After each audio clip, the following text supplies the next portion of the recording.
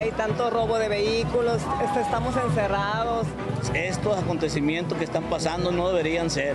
No tenemos ya el control de nuestras vidas. ¿Ustedes están viviendo aquí en esta camioneta? Pues sí, nada más donde nos dejan ir a bañarnos y este, pues sí, donde nos van dando chance. Tacos. Eh, los tacos. Los tacos. Suadero, longaniza, tripa. Longaniza y de cuerito. De birria. Un tamalito, ¿no? De rajas. De verde. De rajas. No, está durísimo. Aquí es todo este, salir. El carro de la basura que no viene, eh, aquí no puede entrar, entonces todo es por canoa también. Nada más vengo manejando lo que es referente a las películas de terror y los adornos. Ponemos una mesa como la que tengo allá, yo le calculo unos 800 pesos. ¿Cómo le va? Muy buenas noches. Bienvenido a Imagen Noticias fin de semana. Le presentamos los temas de actualidad para que inicie su semana bien informado. Aquí sembrando el cempasúchil tenemos como unos 25 años. Es planta de temporada que sembramos desde hace más o menos ese, ese tiempo. Este año nosotros entre cempasúchil y crimolito sembramos como 11 mil, 11 mil 500. O sea, germinamos 12 mil, pero la germinación no es al 100. Entonces nos quedaron como unos 11 mil 500 más o menos. En los buenos oficios le mostraremos al floricultor que ante la temporada de Día de Muertos ofrece el tradicional cempasúchil. De acuerdo con la tradición, el intenso color de la flor de 20 pétalos marca el camino para que los muertos regresen a este mundo, razón por la cual el cempasúchil se siembra a más tardar en julio para que esté a tiempo y dirija las almas. Más adelante, por supuesto, le tengo las imágenes y la información a detalle. En Culiacán, Sinaloa, al menos 14 personas perdieron la vida en un enfrentamiento entre civiles armados y policías estatales que se desató cerca de la medianoche. Los atacantes intentaron despojar una camioneta en el sector Santa Fe sin saber que sus ocupantes eran policías. En respuesta, decenas de unidades de diversas corporaciones acudieron al lugar y lanzaron un operativo en esta zona para localizar a más sospechosos.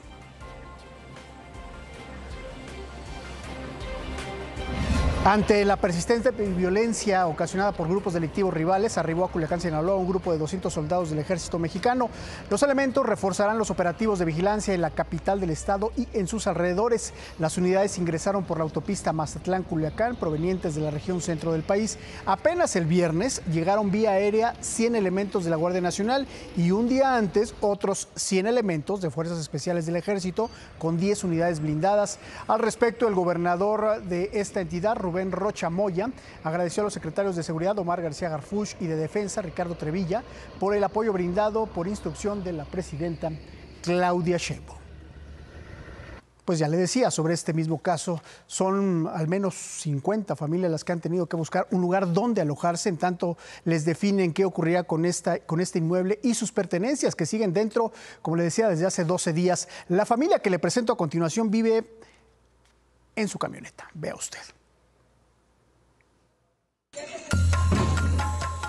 Los vecinos dicen que ellos sí escucharon y que sintieron cuando estaban cayendo las piedras.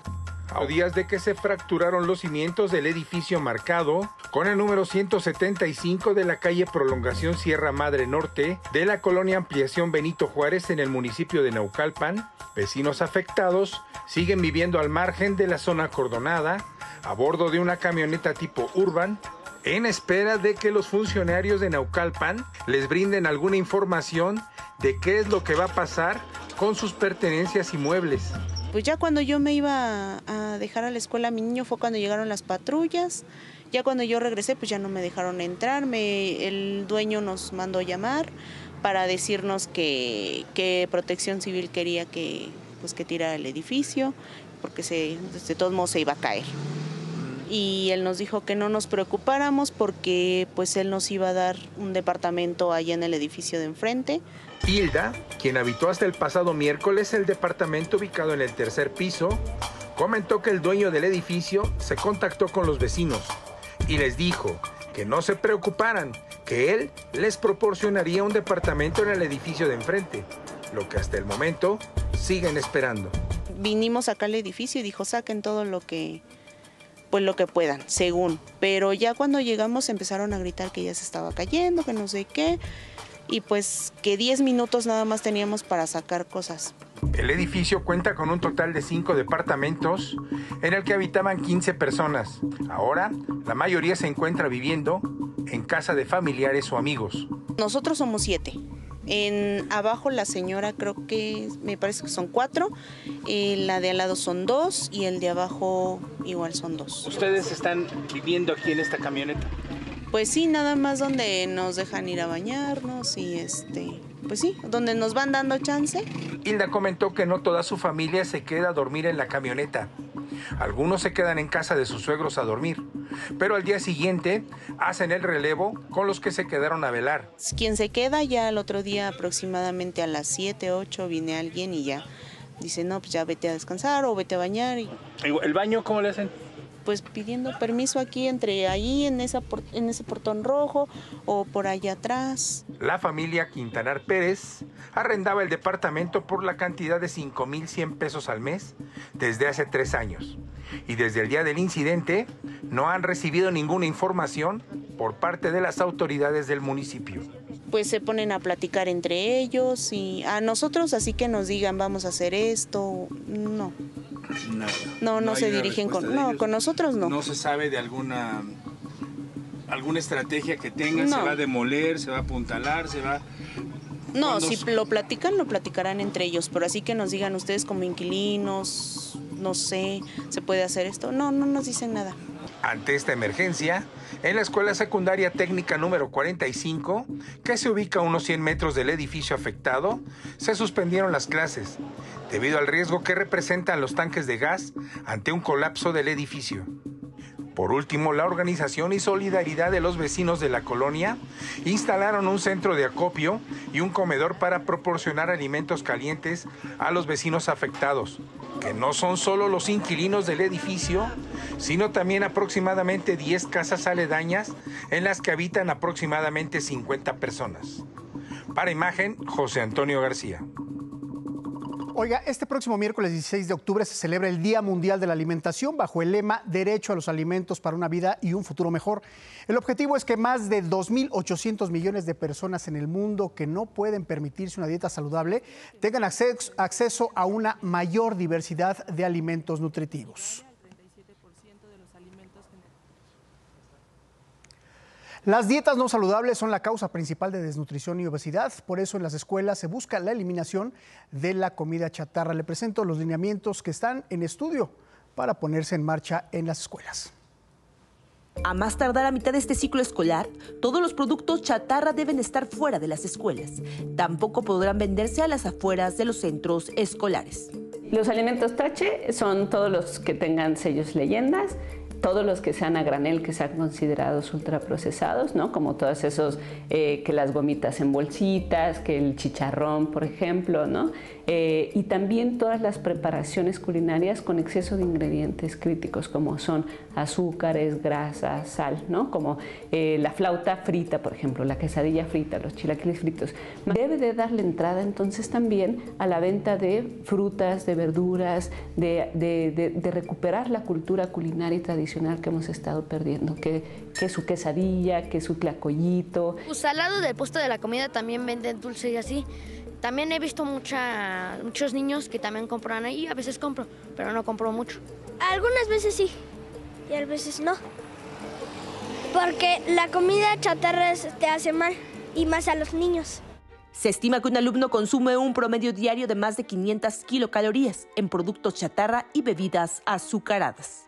Nosotros tenemos 10 años haciendo vigilancias ciudadanas, 8, ciclos escolares porque se suspende por pandemia. Hay más oferta de refrescos, ¿no? O sea, en las escuelas cuando está prohibida la venta de refrescos, en todos los niveles educativos alcanza más del 70%.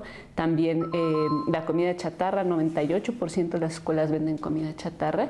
Y el agravamiento principal eh, ha venido en el acceso al agua potable. Es decir, que ha habido una disminución en el acceso al agua, donde solo dos de cada diez escuelas tienen acceso al agua. Está muy bien, que sí es mejor enseñarles a comer más sano.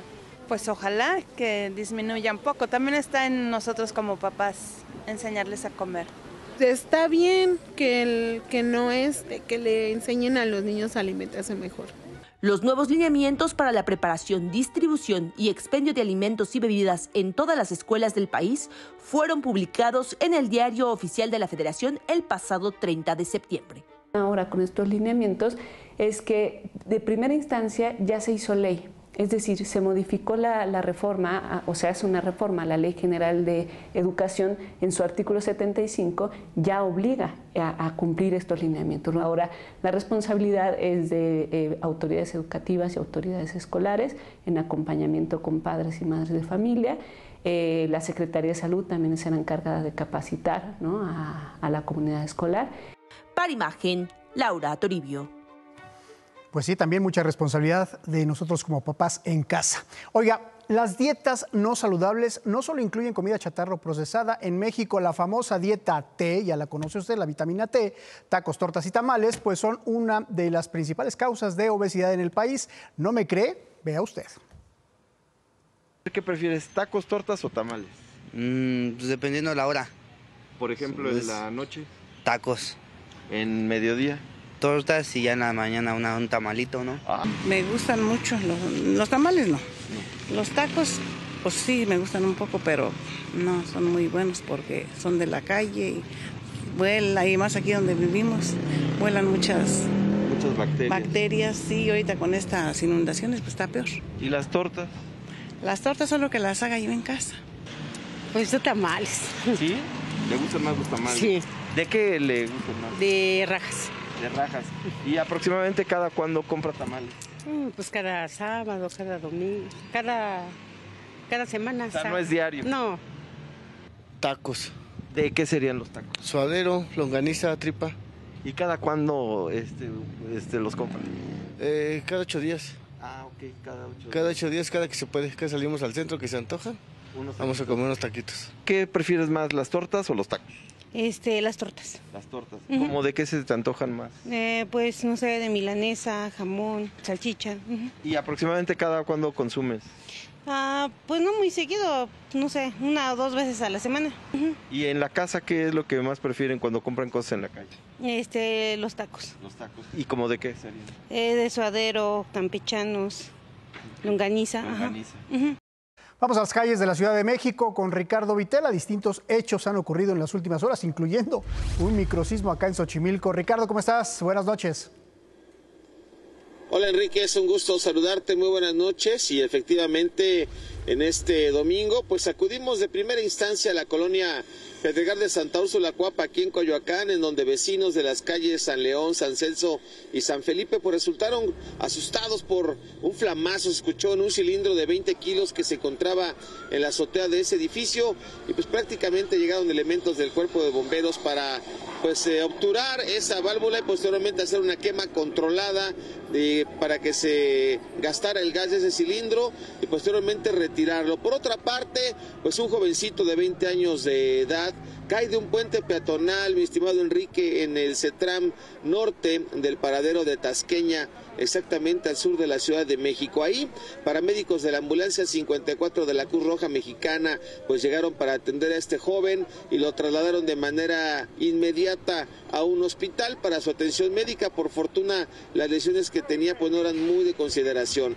Ahí llegaron policías bancarios, tomaron conocimiento de los hechos. Por otra parte, como tú ya lo comentaste, pues este micro este movimiento telúrico local al sur de Xochimilco, muy cerca del heroico colegio militar, pues también eh, perturbó un poco a las personas de esa zona. Por fortuna, pues fue de un grado mínimo, pero sí el susto también para la gente que vive en esa zona sur de la Ciudad de México. No hubo ningunos daños, no hubo personas lesionadas, únicamente pues el sangoloteo que hubo ahí en esa parte sur de la ciudad. Y déjame decirte que de última hora eh, nos hemos enterado de que hay una persona herida por arma de fuego aquí en la colonia Santo Domingo, Coyoacán y Ajusco, Coyoacán, muy cerca a los límites, en la calle de Rey Y la calle de Totonacas, en donde ya se está acercando una ambulancia para darle atención médica a esa persona que tiene un disparo, al parecer, en el cráneo. Es la información que tenemos, mi estimado Enrique, durante este domingo aquí en la zona metropolitana y en la capital del país.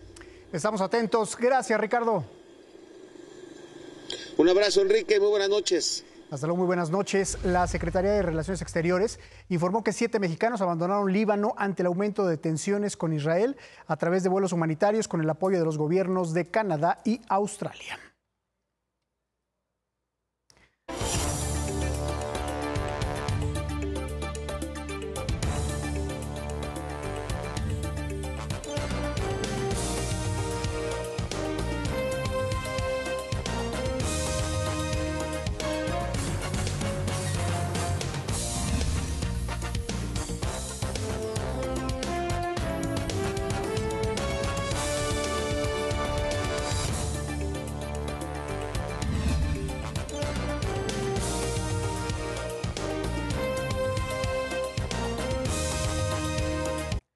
Más de dos meses de las inundaciones en Chalco, Estado de México, las lluvias por fin han comenzado a darle estrego a los, a los habitantes de, esta, de este municipio. El 90% de las calles afectadas ya se encuentran secas o con poca agua acumulada, por lo que los trabajadores iniciaron sus labores de limpieza desde hace dos semanas, enfocándose en desinfectar las calles para evitar la propagación de enfermedades.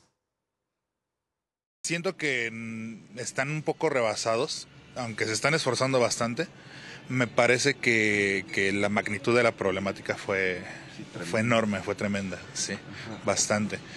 Eh, y con respecto a lo que comentas que ya avanzamos al 99%, sí avanzamos al 99% hasta que llueve. sacar el agua, digo. Ajá, hasta que llueve. Sí.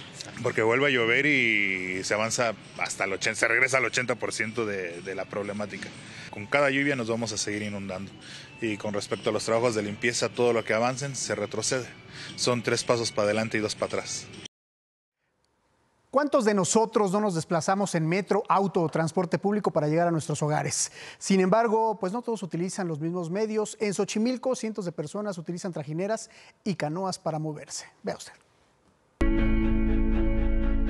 Podría parecer que en Ciudad de México, siendo una de las ciudades más grandes del mundo y el hogar de innumerables complejos, rascacielos, parques y un sinfín de fraccionamientos y colonias, toda la población viviría precisamente en estos. Pero no, también hay quien en medio de la gran metrópoli tiene que trasladarse en canoas para poder llegar a su hogar, ya que vivir sobre el agua en Xochimilco es su reto diario, sobre todo durante el temporal de lluvias.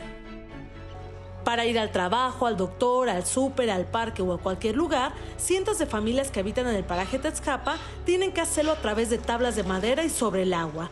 No, está durísimo. Aquí es todo este, salir.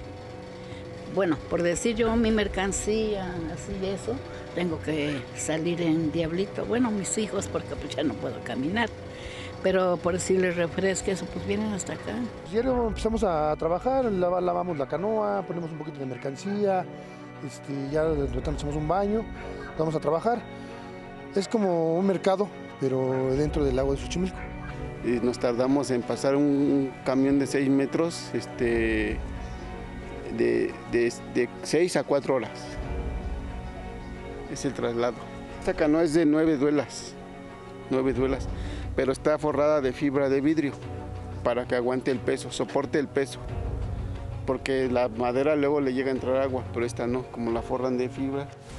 Otro reto al que se enfrentan al vivir en la zona chinampera es a la falta de servicios básicos. No tenemos este drenaje, por decir, son, cosas sépticas.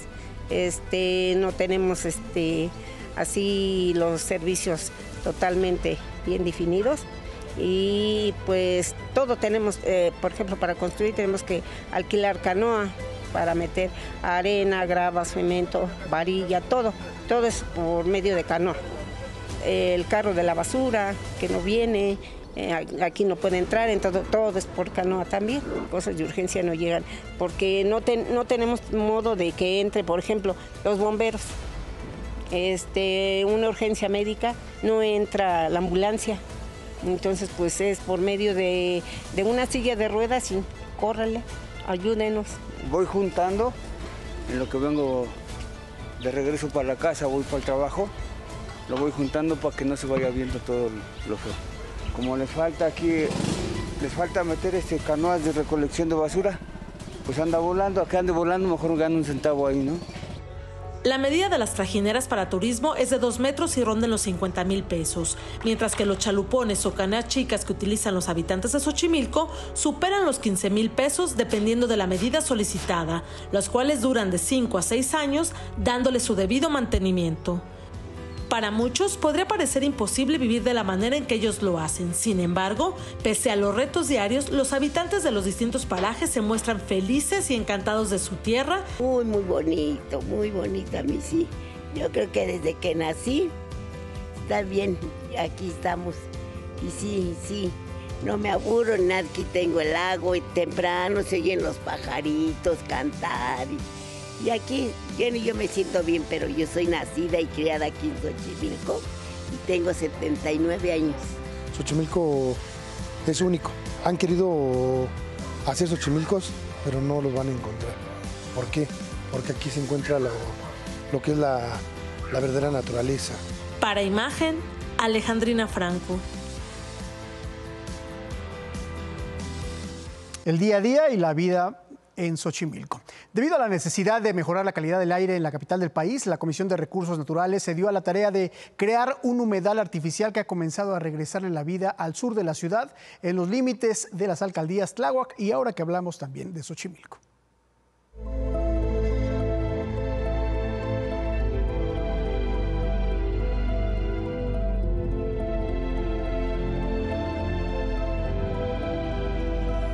Ubicado en el sur de la Ciudad de México se encuentra un pulmón artificial que ha comenzado a dar vida a la capital del país. Un pulmón verde en los límites de las alcaldías Tláhuac y Xochimilco, que antes era una larga extensión de tierra desértica, abandonada y utilizada por particulares para tirar toneladas de material de construcción. Pero aquí en la Comisión de Recursos Naturales, en las instalaciones que ven hacia el fondo, esta parte cuando nosotros llegamos tenía cascajo. O sea, eh, una falta grave, ¿no? Lo quisieron esconder el cascajo de la Ciudad de México que se cayó en el sismo, lo trajeron para acá. Especialistas de la dependencia, con colaboración de biólogos, ingenieros agrónomos y diversos científicos de distintas universidades e institutos de investigación del país, lograron crear el Centro para la Preservación de la Biodiversidad de la Ciudad de México, donde de manera artesanal se hizo un humedal en un área de 5 hectáreas ubicadas entre la laguna de San Gregorio Atlapulco y el lago de Jico.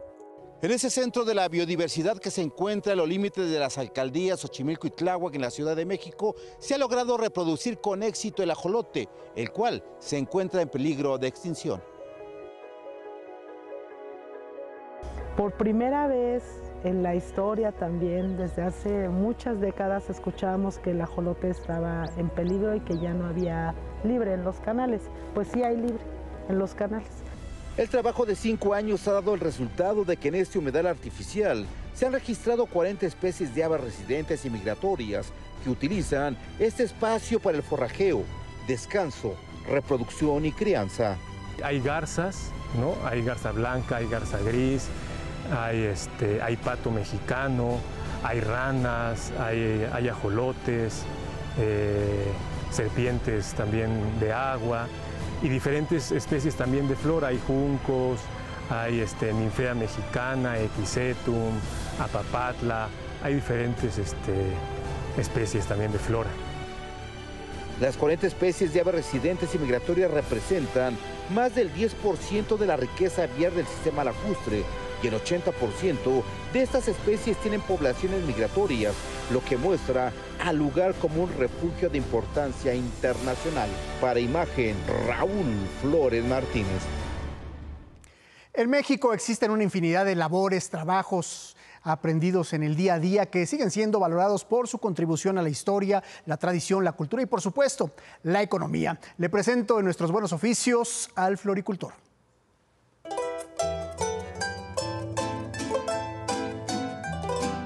Sí, hola, soy Ángel y soy floricultor.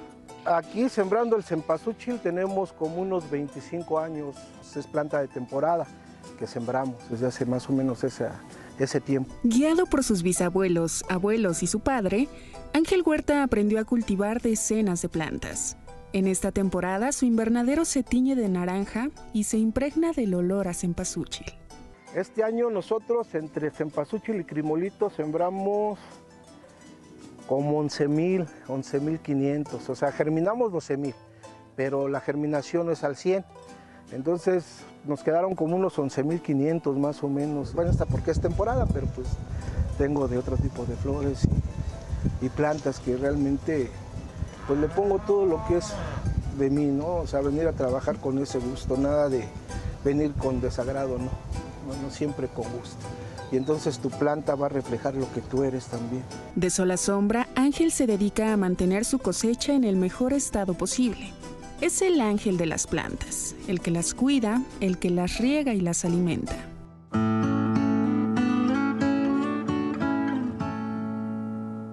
Cuando está chiquita la, la planta, lo primero que nosotros vamos a hacer es promover la raíz, echarle algún fertilizante que haga que la raíz desarrolle.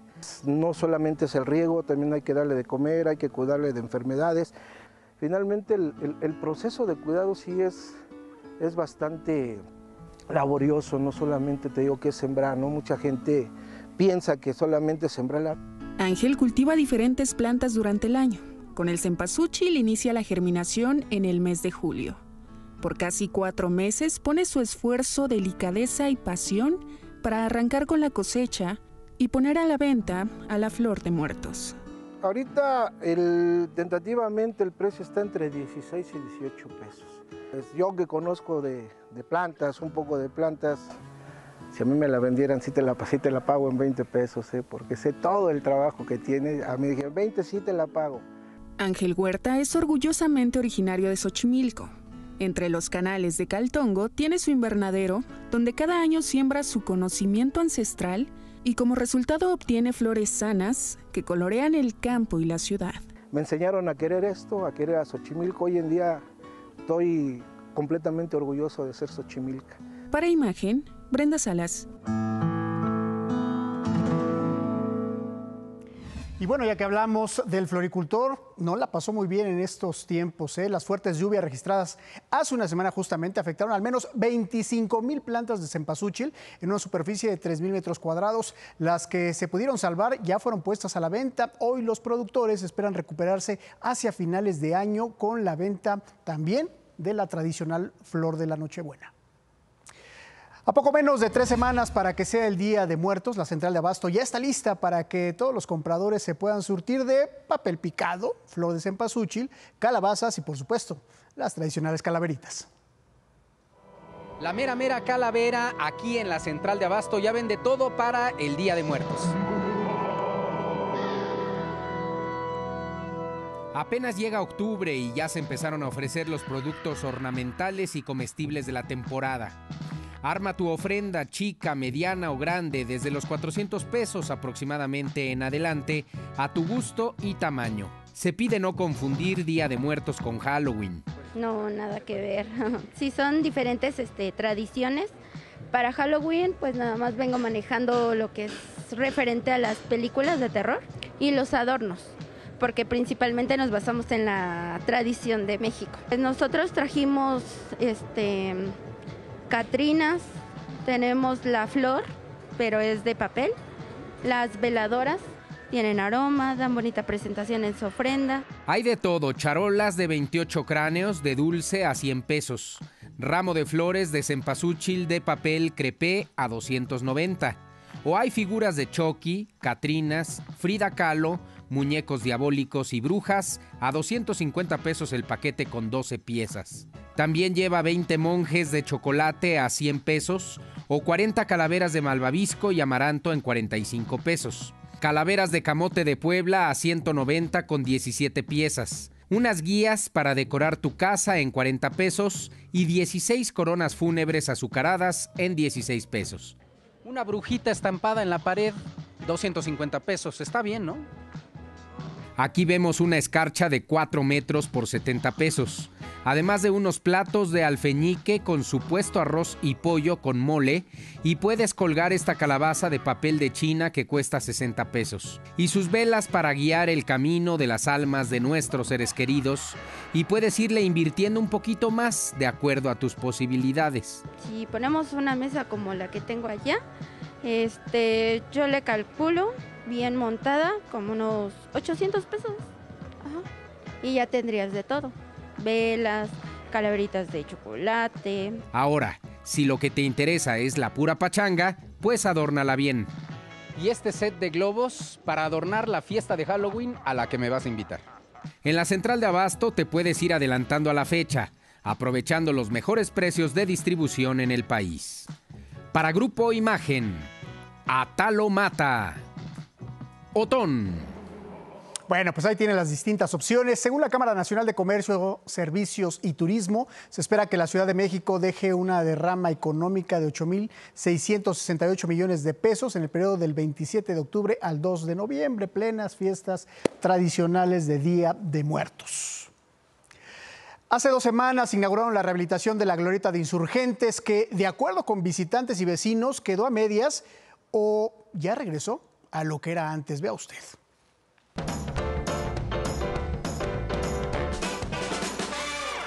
Basura acumulada y falta de iluminación en Bajo Puentes son ya un problema en la glorieta de insurgentes recién remodelada. A dos semanas de su reapertura, transeúntes y visitantes de la icónica glorieta advierten problemas en el lugar. En la noche de momento sí se siente oscuro, pero pues fuera de eso, la ventaja que tienes es pues la conexión al metro y al metrobús, ¿no? Pero pues bien. Ahorita sí, pero más tarde, tal vez por la cantidad de gente también, pero igual y mm, ya muy oscuras, pues no, no tanto. Pues al menos a estas horas ya se ven las lámparas prendidas, eh, pero veo que es luz amarilla, entonces a lo mejor luz blanca podría beneficiar más como para alumbrar, pero aún así las salidas, eh, ya más en las noches, sí las siento más inseguras. En el sitio, inaugurado en 1969 y sometido a dos procesos de rehabilitación a lo largo de su historia, siguen inconclusas algunas obras como el módulo de la policía turística. Vecinos de la zona urgieron a las autoridades a terminar los trabajos. Nosotros como citadinos y sobre todo los vecinos que vivimos en esta zona, buscamos como cualquier persona un espacio seguro un, espacio que realmente esté libre de, la droga. Ya ven que esa gente que estaba en el Senado los corrieron y se fueron a la Estela de Luz. También aquí en la Roma y aquí en esta, en esta área de la Glorita Insurgentes se está vendiendo mucha droga. Entonces yo pienso que ese es el primer paso. La apuesta de la ciudadanía es que la Glorieta de los Insurgentes, considerada en sus primeras épocas el Times Square de la Ciudad de México, recupere su brillo. Es ahorita un centro muy importante de la zona turística, donde realmente la zona rosa o estas demarcaciones o estos espacios son puntos de referencia para ubicarlos, porque es, la entrada a la principal avenida de México, que es Paseo de la Reforma y el Ángel de Independencia. Para evitar el retorno de indigentes que fueron desalojados hace dos meses, la glorieta de insurgentes es vigilada por cuatro elementos de la policía turística en tres turnos, a pesar de que aún no está listo el módulo de atención. Para imagen, Hilda Castellanos. Bueno, pues parece que solo trabajos estéticos realizaron ahí. Miles de visitantes acuden desde el pasado viernes a la llamada Fiesta del Espíritu en Guanajuato, el tradicional Festival Internacional Cervantino, que tiene como invitados de honor a Oaxaca y Brasil. Me enlazo justamente hasta Guanajuato con Oliver Flores. Oliver, adelante, buenas noches. ¿Qué tal Enrique? Buenas noches. Te saludo desde Guanajuato, capital, con el Teatro Juárez de fondo uno de los escenarios del Festival Internacional Cervantino. Pero en este momento toda la ciudad, bueno, pues es un holgorio. Vamos a platicar un poco de lo que está sucediendo en esta edición del Cervantino. La fiesta del espíritu, como también se le llama al Festival Internacional Cervantino, llega a su edición número 52. Comenzó apenas el viernes pasado y concluirá el próximo 27 de octubre. Este año hay dos invitados de honor, Oaxaca como entidad federativa y Brasil como país. También hay danza y teatro, pero además hay artistas y compañías de otras latitudes, como el ensamble México Colombiano de Lucía Pulido, que mezcla la cumbia y la ranchera, así como otros ritmos, letras y sonidos de ambos países. O grandes consagrados y recurrentes del Cervantino, como el Ballet de Montecarlo, que ofrece una versión de Copelia permeada por la inteligencia artificial y todos los cuestionamientos que en torno a este desarrollo de nuestros tiempos existe. Seguiremos reportando de esta edición del Festival Internacional Cervantino desde aquí, desde Guanajuato. Soy Oliver Flores para Imagen. Gracias, mi querido Oliver. Este próximo jueves 17 de octubre, Imagen Televisión estará de plácemes por su aniversario número 8. Ocho años de llevarle hasta sus pantallas programas de calidad para su entretenimiento e información con presentadores, artistas, conductores, colaboradores, reporteros y todos quienes formamos parte de esta casa que es Grupo Imagen.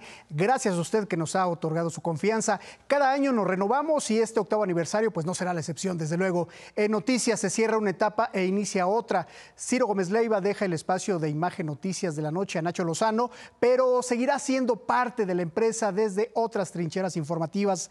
Nacho Lozano arranca este nuevo espacio el próximo 21 de octubre en punto de las 10.30 de la noche, pero antes, mañana lunes 14 de octubre, Paola Rojas arranca en punto de las 8 de la mañana de PC, la noticia como a ti te gusta. En tanto, Paco Sea y todo su equipo de colaboradores se mantiene al frente del noticiero matutino, lo mismo que Cristal Mendíbil en la segunda emisión de Imagen Noticias y por supuesto un servidor aquí en Imagen Noticias fin de semana. En la víspera de este aniversario le refrendamos el compromiso de Imagen Televisión por brindarle la mejor programación con excelentes contenidos para toda su familia. Gracias por un año más. Y nos despedimos, le dejo con la mirada de Excelsior las imágenes de nuestros compañeros fotógrafos que muestran el día a día en las calles, la profesión del periodismo. Muy buenas noches, pásala muy bien, excelente inicio de semana, hasta pronto.